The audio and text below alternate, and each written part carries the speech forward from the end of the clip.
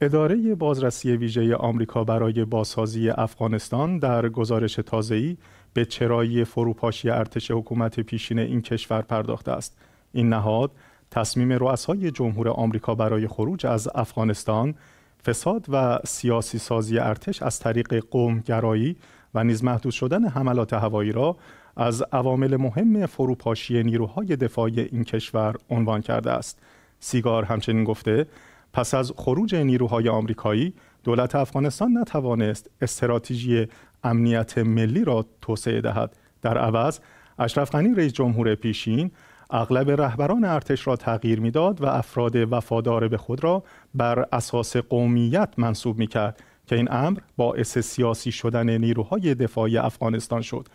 به گفته این نهاد عمل کرده غنی در زمینه جابجایی های مداوم زنجیره های فرماندهی روحیه و اعتماد به نیروهای دفاعی را تضعیف کرد سیگار همچنین گفت که نیروهای دفاعی افغانستان به شدت وابسته به حضور نیروهای آمریکایی بودند و کاهش چشمگیر نیروهای این کشور در افغانستان سبب تضعیف روحیه سربازان افغانستان شد.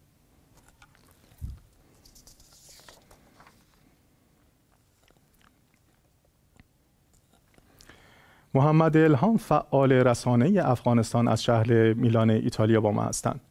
شما و بینندگان عزیز شبکه وزین امام حسین علیه السلام. آقای الهام سلام وقت شما بخیر. آقای الهام مواردی که در جدیدترین گزارش اداره بازرسی ویژه آمریکا برای افغانستان در مورد فروپاشی ارتش پیشین این کشور ذکر شده تا چقدر حقیقت داشته؟ بفرمایید. از آنجایی که امروز نهم خود برابر است با روز سرباز در افغانستان نشر گزارش تازه سیگار بسیار های اهمیت است. گزارش تازه سیگار واضح ساخت که خون هزاران سرباز افغانستان با چی معاملات و عملکردهای قبیلهی و متعفن متاسفانه هدر رفته است. جای بسا تعجب و تعمل است. ارتش مجهز با 300 مجهز 300 هزار نفری به یک بورگی فرو بپاشد. بدون شک باید عوامل مهمی در فروپاشی نقش داشته باشد که در گزارش سیگار مهمترین آنها را بیان کرده. متاسفانه قومی سازی با استفاده از حلقه کوچک مفسده که در قبل از سقوط دولت افغانستان اداره می شد نقش بسیار بسزایی داشت. همه تصمیم گیری ها بر اساس قومی و قبیلهی صورت می گرفت حذف کادرهای مسلکی اقوام دیگر از سطوح بلند تصمیم گیری ها در ارتش افغانستان صورت می گرفت که بدون شک این مسئله باعث فروپاشی و ضعیف شدن روحیه سربازان افغانستان در دوره جمهوریت بود.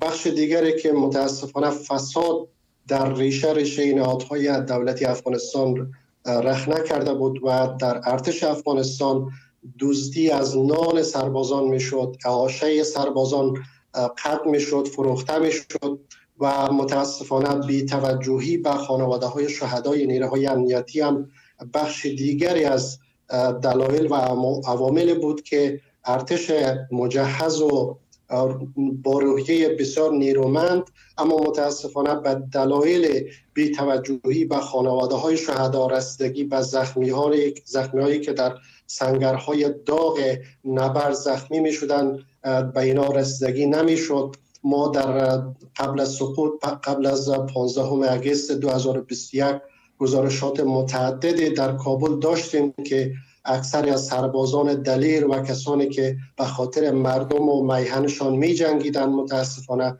به دلایل قومی برخورد شدن و به دلایل فساد و مسائلی که یاد شده در گزارش سیگار هم اینا روحیشان تضعیف می شدن و شکایت های بسیار زیادی داشتن بدون شکی عوامل در گزارش سیگار بسیار با وضوع دیده میشه که در نهم خود امروز این گزارش نشر شده متاسفانه بر علاوه که حقیقت داره به گونه بسیار فضاینده این مسائل در قبل از سقوط نقش داشته.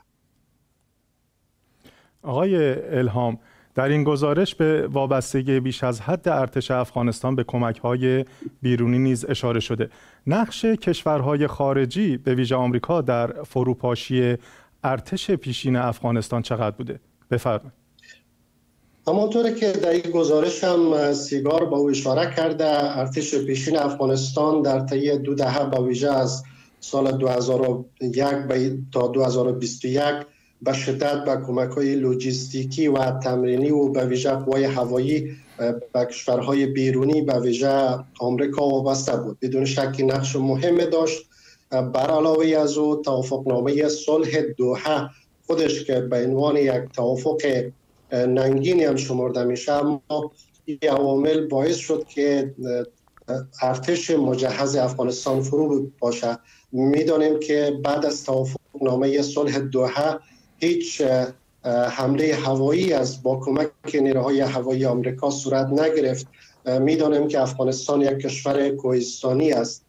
و بدون شک اکمالات لوجستیکی در او زمان هم بسیار نیازمند کمک های هوایی نیروهای آمریکایی و ائتلاف بین المللی, بین المللی بود که پس از توافق نامه صلح این کمک ها بر علاوه که کاهش یافت و قطع شد متاسفانه روحیه نیروهای امنیتی و دفاعی افغانستان نیست کاهش پیدا کرد و با روحیه سربازان افغانستان که کاهش پیدا کرد به این دلیل که خروج شتاب زده و زود هنگام نیروهای ائتلاف بین المللی به رهبری آمریکا در ماه اگست صورت گرفت و همه سنگرهای داغی که برای دفاع از مردم افغانستان می جنگیدن سربازان افغانستانی روحیه شکسته شد و قوای هوایی فلج گردید و این عوامل هم بدون شک وابستگی بیش از حدی که در گزارش سیگار اشاره شده